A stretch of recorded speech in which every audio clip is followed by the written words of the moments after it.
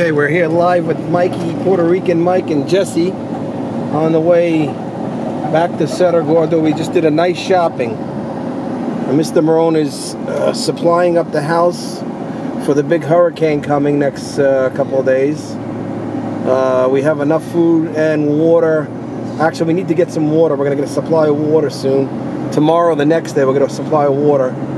Uh, what do you think, Dad? Are we going to be tied down and everything should be good for this hurricane? Dad? What do you think?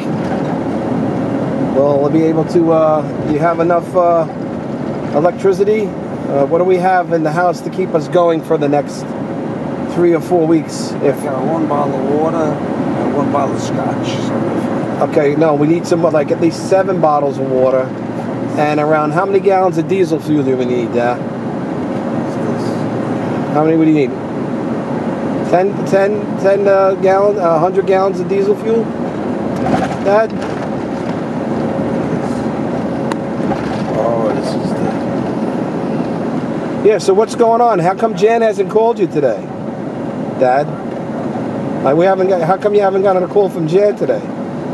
Dad? I got one like earlier this morning. Well, who's this now on the phone? Texas. Nope, delete and not answer. Eh, Hit the red button, that deletes them. The red button hangs up on them.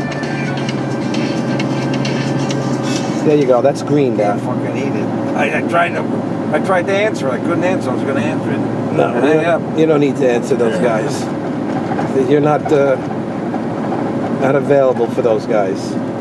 But my father gets these phone calls from these telemarketers all the time. It's like, you know, he goes, "Oh, here's a- another phone call. I'm that popular." He reminds me of Rain Man. He's a very good driver. But what they do with these telemarketers is they like they who con- the fuck cares? they constantly and call. don't you dare put me on. They ca- they ca- call constantly, and they um, they, they try to take advantage of people. These tele they call me all the time. The telemarketers. Yeah, but you got more money than. No, so these That's- telemarketers yeah, they, they they they they they they come after the the senior citizens because they they're so nice. The senior citizens lose the eye of the tiger, and they they just they talk and then they go, oh, uh, you know, do you need to breathe?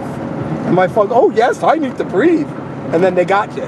So they have these these like uh, these scenarios, these how to get someone to answer the phone call, or answer your question without hanging up. It's like, do you use oxygen? Like I donate fifty dollars every time they call me. Yeah, That's the- why they call do you me. use oxygen? Fifty dollars every time they call. That's right. When they say, Yeah. do, you, do you use oxygen? And he goes, oh, yes, I use oxygen. I'm a very good driver. So they got you.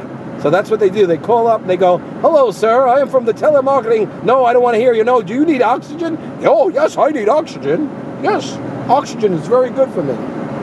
So we have the uh, unknown comic, and then we have the unknown comedian, and then we have the unknown Jesse with the uh, the piece of paper in front of his face because he's uh, he's hiding his uh, appearance, but we don't know who he is, do we? I don't think we know who he is. Anyway, back to what I was saying. These telemarketers, as soon as you get a new phone, they call you up on the phone and they go, "Hello, how are you? This is the telemarketing. Uh, do you breathe? Oh yes, I breathe. Oh, and then they got you. Or they like say, "Hey, do you go to the bathroom?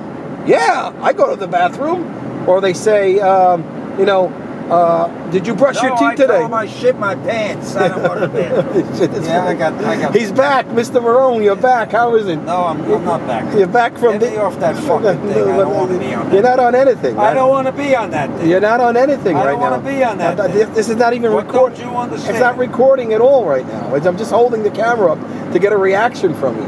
That's all. So, uh, so when did Jan call? Jan called this morning, Dad. Anyway, all right. So back to uh, Puerto Rican Mike and Jesse. Right now, we're driving in Puerto Rico on the way back from Walmart. We've supplied the house with uh, enough food for the next two weeks. Uh, my father's leaving in a week, but he, you know, this way I have food and I can eat while he's gone.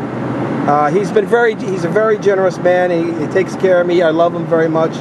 He, he leaves me a, a little money on the side just in case I need it. And if it wasn't for my dad, I'd probably be on the street and a bum and uh, begging.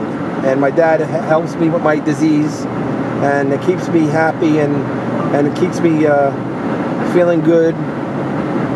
He's a great guy, my dad. And uh, would you concur to that? Dad, you're a great guy. No, And how are you feeling today? an answer. How are you feeling?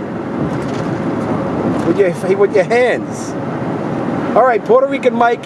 We're signing off. I will talk to you later. Take it easy. Out and Wilco. Take a look at the the weather here.